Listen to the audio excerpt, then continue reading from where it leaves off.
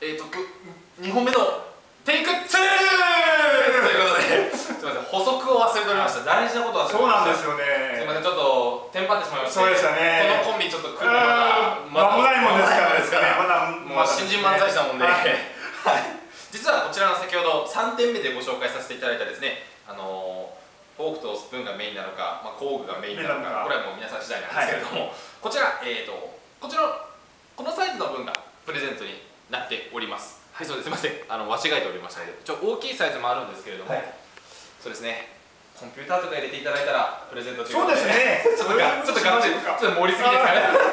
まあそれはちょっと冗談ですけれども、はい、はい、こちらのサイズの、えー、フォークとスプーンをですね、プレゼントをさせていただきます、ただもうまあプリンを食べたりそうですね。デザートを食べたりするには。まあ、これもカレーとパスタみたいな組み合わせになっちゃうのでですね、なかなか普段は使わないかなと思ったりもしますので。ちょっとですね。こちらのがですね。そうですね、ですのでこちらの分をプレゼントさせていただきたいと思いますので。じゃあ補足こんなもんでいいですかね？はい、はい、こんなもんで。はい。はい。はい。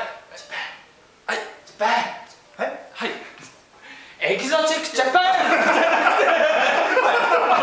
ちなみにすみません。補足の説明メイドインジャパンです。よろしくお願いします。そうか、これ、あ、そうですね、これ、あ、本当に、ジャパンです。そうです、メイドインジャパン。気づかなかった。もう一回だけ補足をね。もういいよ、もういいよ。メイドインジャパンですか。ジャパンになってます。ジャパンですよろしくお願いします。